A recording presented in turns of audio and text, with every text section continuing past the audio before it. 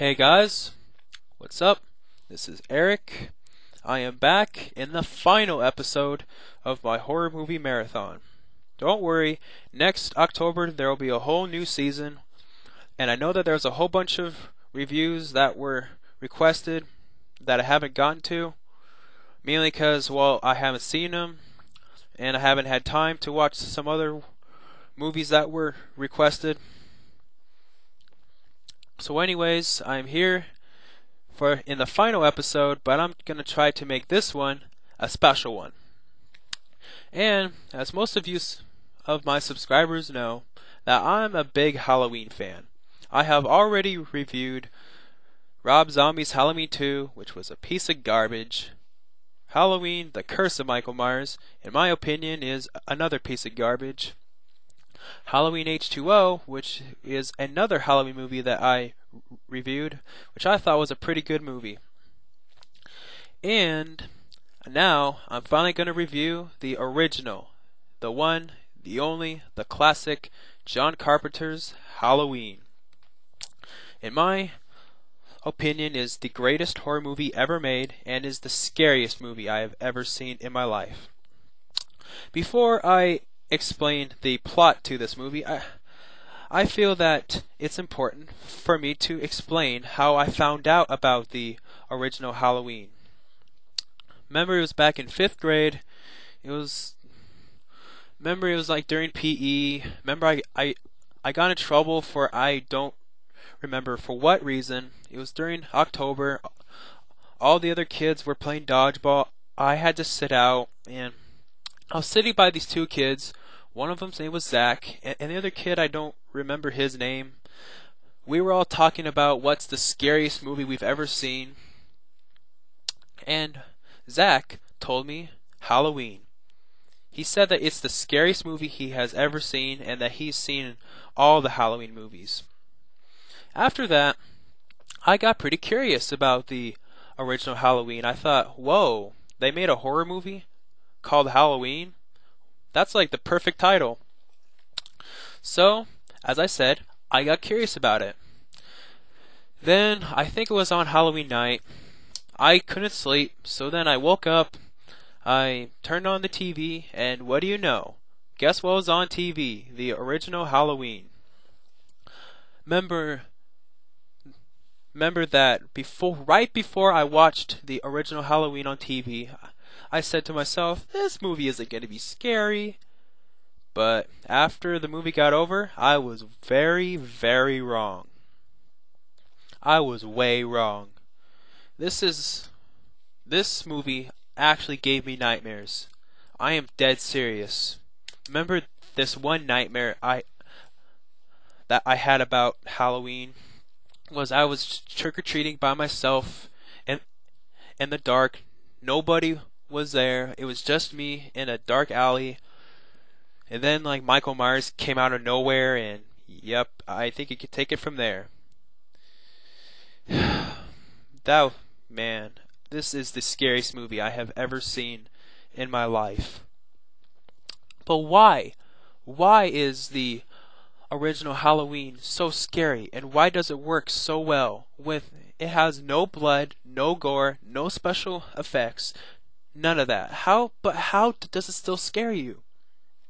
The reason is mainly because in the when the movie first opens, all that you see is someone's point of view. You don't know who it is, but then you find out, oh my god, it it was a kid and and the character of Michael Myers himself. He is the he out of all the horror movie icons, Freddy, Jason, um, Jigsaw, Ghostface, Leatherface, Pinhead. In my opinion, Michael Myers beats all of them. He's the scariest, he's the most realistic, well, as realistic as it gets. And Freddy and Jason, they're just monsters. It can't really happen, but Michael Myers is is a is a man, a evil man, and and one reason why he's just so scary, you do not know why he kills. He kills people just for just for the fun of it. It's it's it's much scarier trying to guess. Okay, why is he killing people? Why? That's one thing that the sequels and the remakes really screwed up. In the remakes, he kills for revenge and because his mommy told him to. But it's just okay. Remember in The Dark Knight, the Joker? Remember when he told you all those stories about how he got his scars? It was it's much scarier to guess why he got those scars and or how he got them and why is he so messed up. It's just much scarier. It's it it it it, it works so much better. And in the remakes, they kind of make you feel sorry for him. You don't want to feel sorry for him. You want to be afraid of him. Another thing that really really works well uh, about Michael Myers is his mask. It's just a plain emotionless white mask with no emotions, just those two black holes. It's much much scarier trying to guess, oh my god, what is underneath that mask? Than to actually see his face. I know that they show his face at like the very last two seconds of the movie, but that was only for two seconds. And in Rob Zombie's Halloween 2, you see his face all the time, which completely ruined Michael Myers. It's it's much scarier trying to guess what his face looks like. And his deep breathing. It that is just really really creepy. How he just how he just stares at you in the shadows, hiding in the shadows. Like, Michael Myers could be behind you right now, and you could be his next victim. Anybody can be his next victim. That's another thing that they screwed up in the Halloween sequels. In, in, Halloween 6, he could only kill his family members. Well, well, if he only kills his family members, then all the people who aren't his family he don't have to worry. He's not going to come after us. But in the first one, he could anybody could be his next victim, and that's much more terrifying. Another thing that really worked well about Halloween, you guessed it, the music. The music to Halloween is absolutely brilliant. It's so simple, but yet it works so well. Just like in the the original Jaws, the Jaws theme is so simple, just two notes, but yet it works so well and it made the movie so much better. Remember that that was one thing that that really creeped me out when I first saw Halloween was the music. I mean, if you're in a dark room and you just listen to the the music, you'll get just as scared, maybe even more.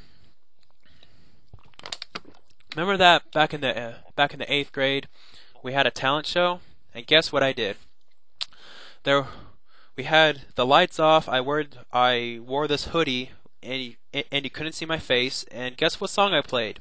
Yep, you guessed it, the Halloween theme. And I got the biggest applause. Remember that like the whole school like went insane after that because I didn't want to do something what what people already done like a billion times at the talent show, like always sing some popular song. Anyways, I'm getting kind of off topic. Another thing that really worked well about Halloween was Donald Pleasence. If you don't know who Donald Pleasence is, he was in what he was a James Bond villain, I think in Goldfinger, but I could be wrong. He did a very very good job especially his his lines and the way he said them. They were very, very creepy. And Jamie Lee Curtis, she did a very good job. Her character is likable and and the way that she screamed is just really, really creepy. She she did a good job. So anyways, the original Halloween is the best of the whole series. If you haven't seen it, I highly recommend it.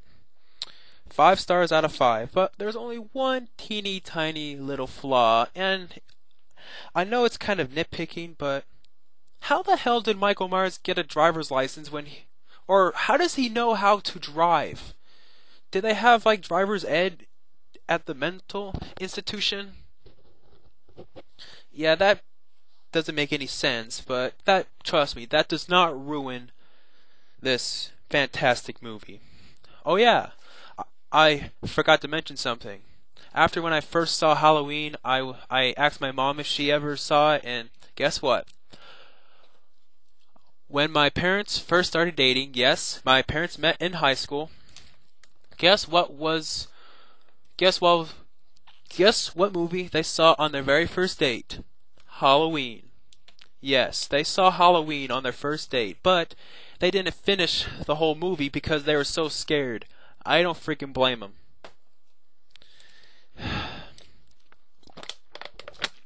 That is just so ironic that my parents saw this movie on their first date back in high school.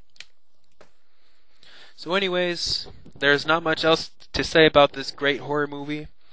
I know that there's a whole bunch of reviews that I haven't gone to in my horror movie marathon this year. I'm sorry about that. I'll try to get to them next year. I promise. So, anyways, be safe this Halloween, and I'll see you later.